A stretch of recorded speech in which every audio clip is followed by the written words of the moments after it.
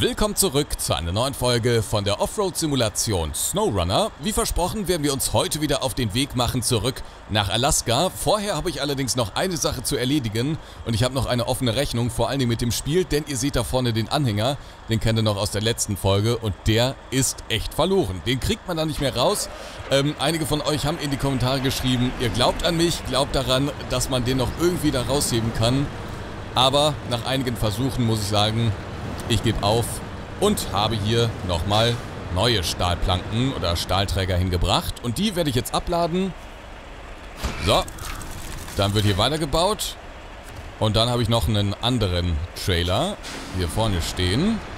Den habe ich auch schon vorbereitet. Insofern ist das jetzt nicht mehr so spannend, aber trotzdem möchte ich oder wollte ich euch die fertige Plattform dann nicht enthalten, vorenthalten. Machen wir den einmal los. Und dann in bestem Gebiet, in bestem Schlamm, werden wir den anderen dran machen. Und dann geht's weiter nach Alaska. Auch da habe ich schon ein bisschen was vorbereitet, habe ich ja versprochen. Denn ich habe mir die Karten ein bisschen angeschaut. Das ist ja keine schlechte Idee in SnowRunner. Schon mal so ein bisschen, ich sag immer ortskundig bin ich, aber bin ich natürlich bei Weitem nicht. Flupp. Und dann machen wir auch hier nochmal die Frachtverwaltung.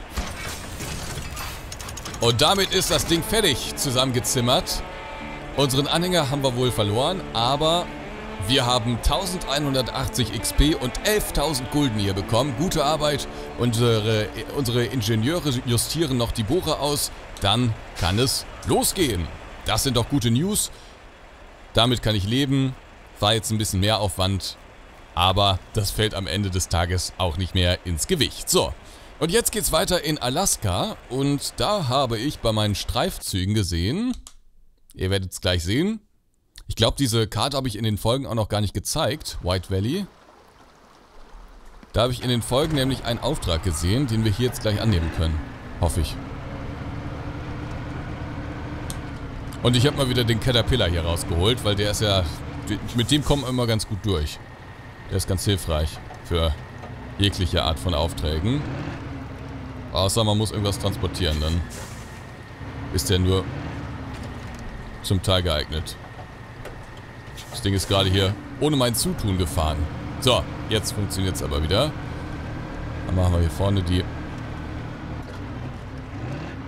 So, Anbremse rein.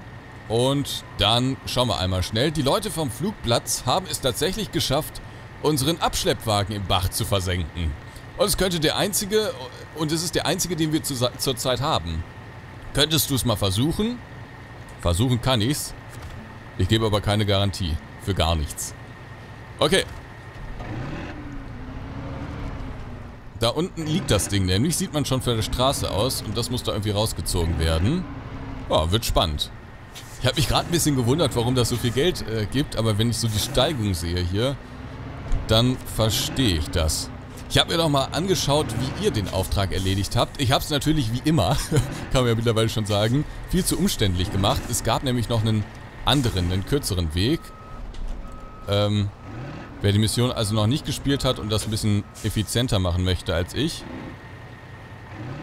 der sollte mal in die Kommentare gucken.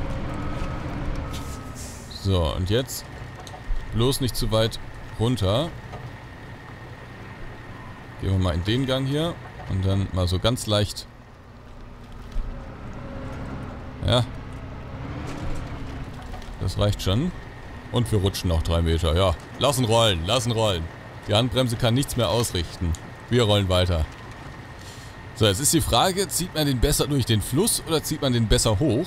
Ich werde es jetzt erstmal mit Hochziehen versuchen. Wenn das nicht klappt, dann weiß ich, war die falsche Idee.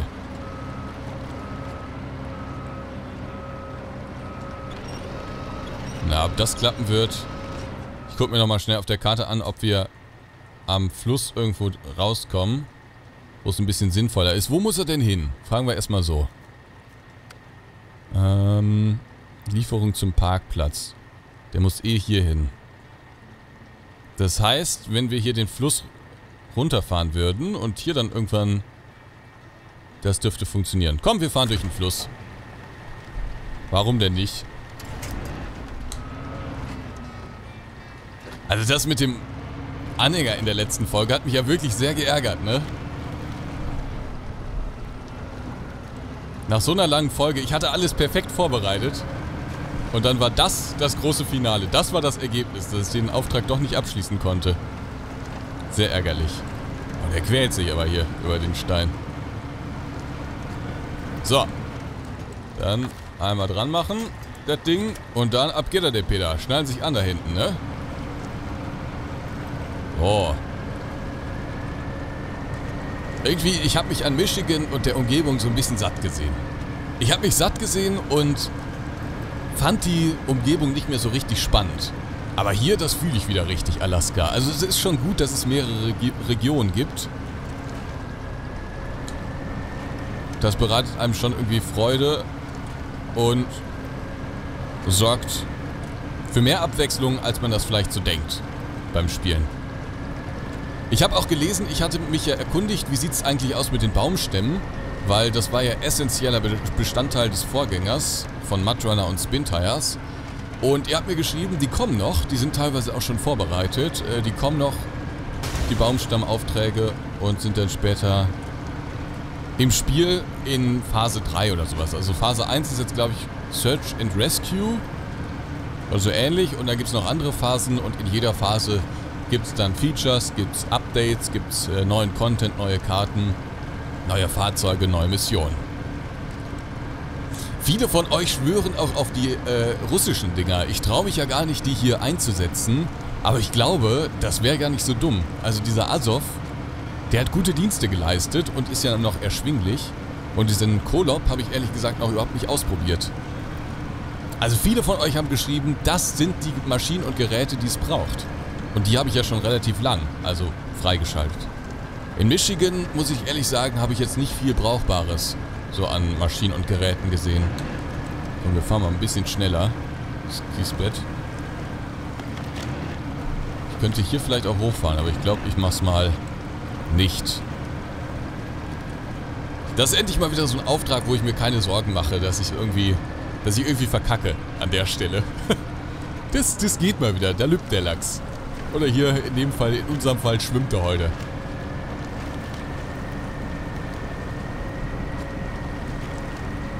Auch wenn es ein bisschen beschwerlich zu sein scheint, aber ich muss mir noch nicht mal um den Tank Sorgen machen. So, vielleicht können wir den auch schon hier rausziehen. Das wäre vielleicht ganz schön, wenn wir dann langsamer auf die Straße kämen. Aber...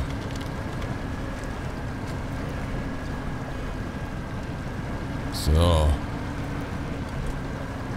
Also im letzten Video habe ich erst die richtige Abfahrt verpasst.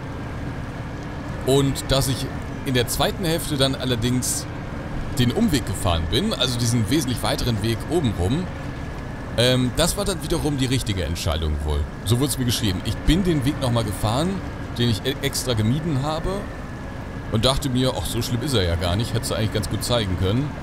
Aber das ist halt immer so ein, ja, man weiß halt auch nicht, wie sich das verhält mit so einem Schwerlastding dann, ne? So, jetzt müssen wir irgendwas tun. Jetzt müssen wir hier auf jeden Fall irgendwie vorbei. Der hilft jetzt nichts mehr.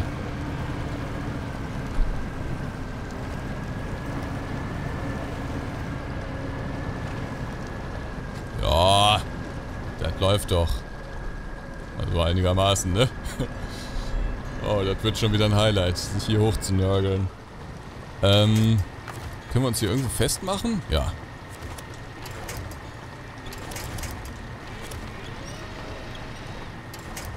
Äh, also alle meine Optionen sind jetzt gerade weg. Das ist erstmal grundsätzlich erstmal schade. Aber vielleicht schaffen wir es dann trotzdem noch irgendwie. Das kann doch eigentlich... Ich versuche mal hier mit Differential... Ja, mit Differential scheint es zu funktionieren. Bring den erstmal hier rüber. Denn solche Felsen... Ja, wir, wir sind einfach Förster hier. Wir fällen einfach.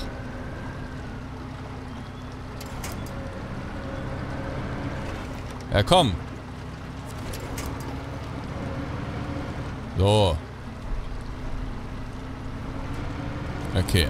So, Teil 1 ist schon mal geschafft. Jetzt müssen wir den dann noch wegziehen. Das ist eigentlich nicht Sinn der Übung, dass der Caterpillar dann wieder ein bisschen weiter nach hinten rutscht. Wir machen mal, das ist ein bisschen geschickter, und zwar ziehen wir den ein bisschen weiter nach außen. Wobei das auch nur begrenzt viel bringt. Okay, dann jetzt mal mit Gewalt. Hilft ja nichts. Dann ziehen wir den jetzt einfach da drüber. So.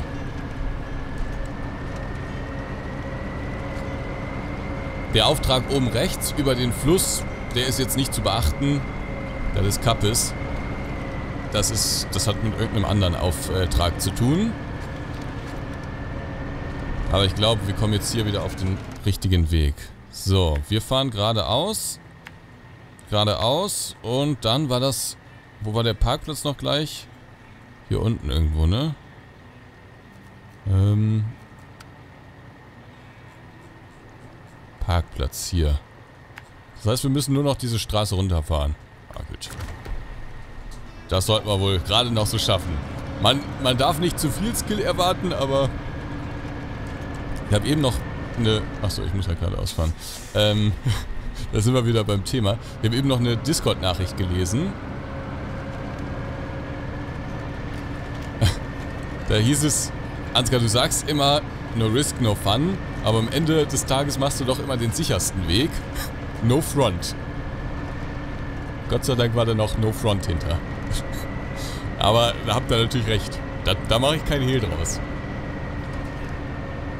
Aber man fährt auch einfach, ich glaube am Anfang habe ich das noch mehr gesagt als äh, jetzt am Ende, weil ich am Anfang auch öfters noch so, so Dinger gemacht habe, wo ich mir nicht so sicher war.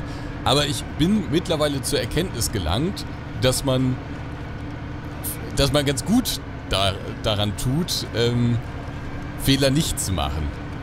Ja, das gilt ja allgemein im Leben, aber hier äh, besonders, weil wenn man Fehler macht und die falsche Route wählt, da dann wieder rauszukommen, das ist entweder unmöglich oder noch zeitaufwendiger, als hätte man direkt den weiteren, aber sichereren Weg genommen.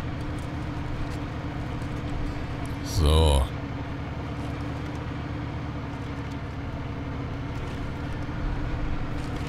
Reicht natürlich nicht, dass man den hier an Land schleppt. Nein, er muss zum Parkplatz geschleppt werden.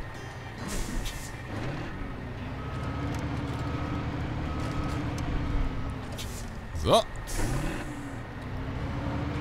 Und jetzt können wir ein bisschen Gas geben hier. Vorausgesetzt, der Kollege da hinten macht mit. So, 900 Meter sind es noch. Ja, ich freue mich auf die nächsten großen Aufträge dann wieder mit den äh, schweren äh, Transportern. Ich habe mir die Aufträge jetzt hier in Alaska auch schon angeschaut, musste allerdings feststellen, viele sind so map-übergreifend, so wie es in Michigan auch war. Und es ist halt schon eine Spur schwerer als in Michigan.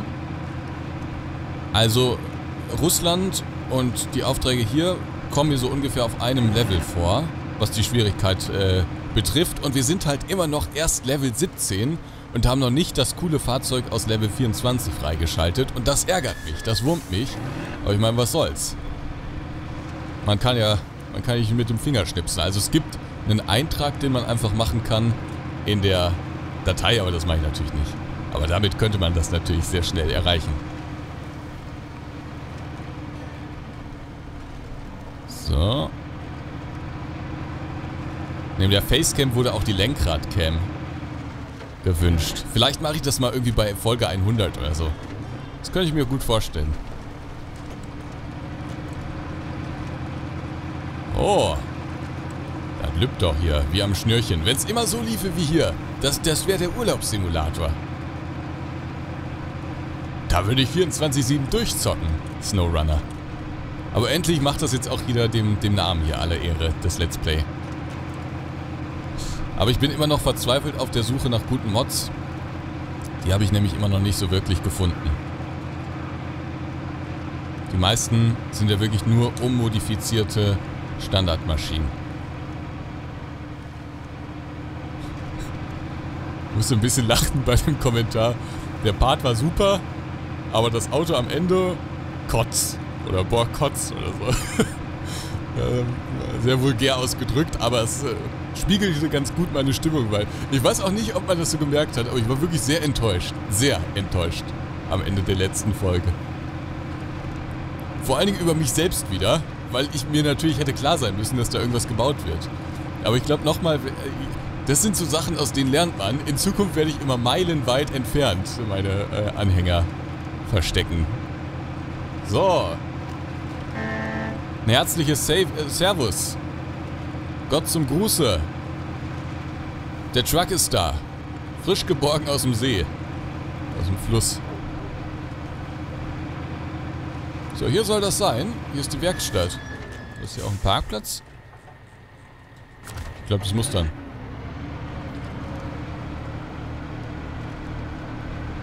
Zur Werkstatt, ne?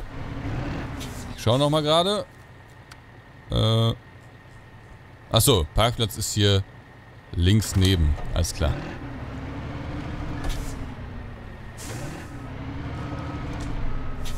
So, und das Ding ist auch fast unbeschadet.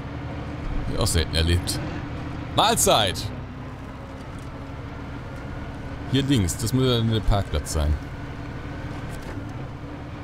Gibt hier zur Werkstatt. Großartig! Ich hatte gehofft, dass du mir hilfst, sonst hätte ich auf einen neuen Abschlepper warten müssen, ganz zu schweigen von dem Bericht, den ich hätte schreiben müssen. Vielen Dank. Und dafür habe ich jetzt einfach einen Derry Longhorn bekommen. Tatsächlich, da kann ich jetzt einsteigen. Ein bisschen zurücksetzen oder ich kann es auch hier über das Menü machen. Das ist jetzt allerdings, glaube ich, die nicht modifizierte Version. Das heißt, den musste ich jetzt, müsste ich jetzt sowieso einmal schnell in die Werkstatt bringen. Ja. Und damit kann man jetzt hier rumfahren. Oder den kann man natürlich auch verkaufen. Ich habe jetzt einen Truck auf jeden Fall schon verkauft. Ich denke, ich werde auch noch diesen ähm, Ford, den ich da gefunden habe, äh, verkaufen. Ich werde noch den Chevrolet verkaufen. Und ich habe für die nächste Folge auch schon wieder einen Auftrag. Bevor wir uns nämlich wieder um die Transportaufträge kümmern, versuche ich jetzt erstmal ein Fahrzeug nach dem anderen zu finden. Wenn ihr da noch Tipps für mich habt, gern damit in die Kommentare. Aber hier steht auch wieder irgendwas. Äh, suchen und finden heißt der Auftrag. Kann ich hier noch nicht aufrufen. Äh, Aber da scheint ja auch irgendwas mit einem äh, Auto zu sein. Und ich glaube, hier war noch irgendwo ein Autoauftrag. Und wer weiß, vielleicht finde ich auch noch irgendwo einen Truck hier auf der Karte oder auf einer anderen Karte. Ich meine, hier gibt es ja noch die Karte Bergfluss. Da könnte auch noch was sein. Also ich glaube, hier haben wir damals den Caterpillar gefunden. Aber hier ist bestimmt auch noch irgendwas versteckt. Ich werde dahinter kommen, hinter das Rätsel. Ganz kurz noch zur Übersicht. Ich bin aktuell im Level 17, habe äh, 7 von 8 Fahrzeugen in Michigan gefunden. Das eine, was ich nicht gefunden habe, das ist äh, der Chevrolet. Da weiß ich aber, wo er steht. Und ähm, ja, das nächste Level ist nicht mehr weit. Ich danke euch soweit aber fürs Zuschauen. Ich hoffe, euch hat es genauso viel Spaß wie mir gemacht. Wenn ja, lasst gerne einen Daumen nach oben da und schaut auch gerne nächstes Mal wieder rein. Vielen Dank fürs Zuschauen und bis zum nächsten Mal. Tschüss.